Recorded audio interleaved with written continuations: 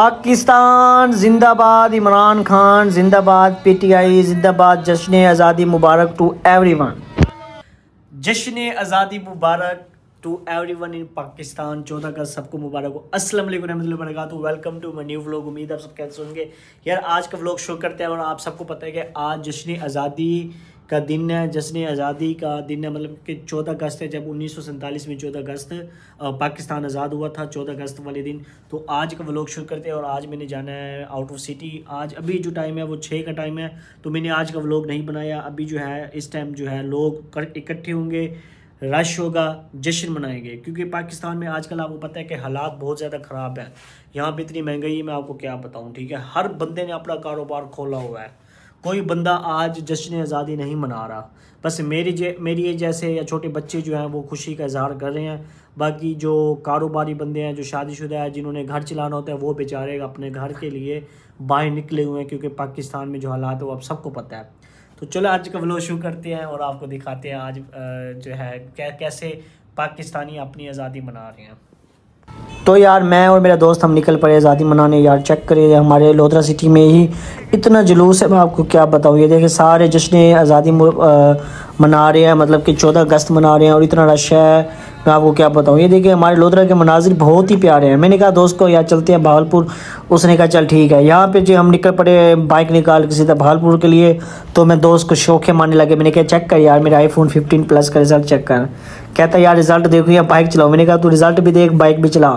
तो उसके बाद, यार, ये देखो, हमारा लोधरा में, माशाल्लाह, बहुत प्यारा मौसम है और बहुत ही प्यारा जो है हमारा लोधरा सिटी है। लाइटें की भरमार है। यहाँ पे जो है, मैं रात को जब आज़ादी का दिन शुरू हुआ तो यहाँ पे बहुत ज़्यादा लाइटें लगाई गई।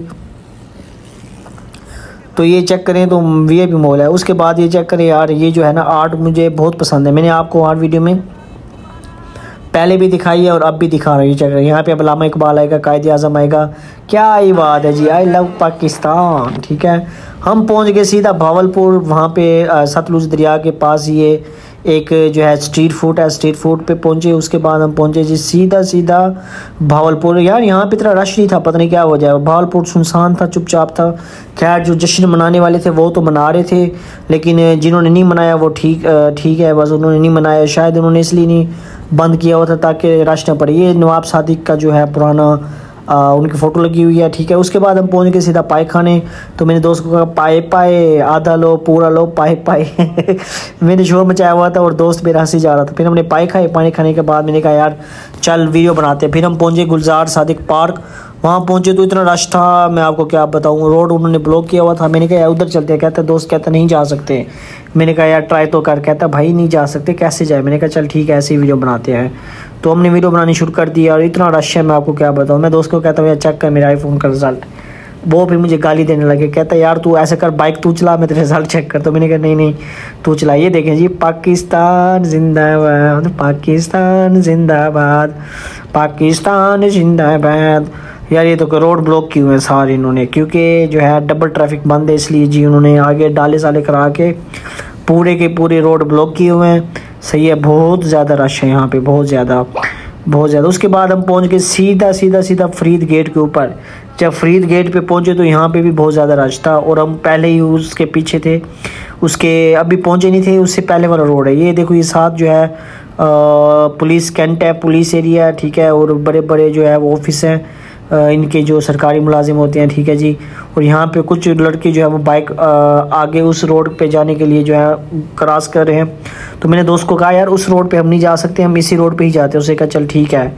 हम चलते गए चलते गए चलते गए चलते गए चलते गए चलते गए, आगे आ गया जी, Quaid Azam college medical college वो देखा। उसके बाद जी हम पहुँच गए सीधा सीधा फरीद गेट पे। ये जी फरीद गेट है, ये चेक कर सकते हैं आप, ठीक है। ऊपर लिखा भी हुआ है फरीद गेट तो यहाँ पे पहुँचे तो बहुत ज़्यादा रश था यार, ठीक है? बहुत ज़्यादा, इतना रश था मैं आपको क्या बताऊँ। बस हमारी यहाँ पे ही बस हो गई। मैंने कहा, चल यार, शेख, वापस चलते हैं। उसने कहा, चल, ठीक है। तो उसके बाद हमने वीडियो बनानी शुरू कर दी। यार, यहाँ पे मैं बहुत बड़ा यूट्यूबर अबू बकर मिला था। ये देखिए, ये अबू बकर यूट्यूबर ठीक है ना? तो ये मिला था और ये खड़ा होगा यहाँ पे। ये मैं आपको दिखाता हूँ तो यहाँ पे अबू बकर खड़ा हुआ है, ठीक है ना? उसकी हमने वीडियो बनाई, मैंने कहा, मैं भी जाता हूँ। शेख ने कहा, चल, चला जा तो वीडियो बना लें। लेकिन रश इतना था मैंने कहा, चल यार नेक्स्ट टाइम बना लेंगे। तो उसके बाद हम सीधा चले पड़े, चल पड़े घर की तरफ़ रवाना होने के लिए। तो यहाँ पे बहुत रश था। यार, खुशी आती है कि पाकिस्तान आज़ाद हुआ था, लेकिन ये भी अफसोस होता है कि पाकिस्तान के हालात जो है, वो नवाज़ शरीफ, मरियम नवाज़, इन गंजोर इन चोर लुटेरों ने इन खोती के बच्चों ने जो है ना वो पाकिस्तान को बर्बाद किया हुआ है। बहुत अफसोस होता है। क्या कर सकते हैं यार? बस हम भी पाकिस्तानी जो हैं न्यू जनरेशन है तो हम कुछ नहीं कर सकते जब तक हमारे जो है बुज़ुर्ग हमारे लोग कुछ ना करें। तो उम्मीद है आपको व्लॉग पसंद आएगा मिलते हैं न्यू व्लॉग में।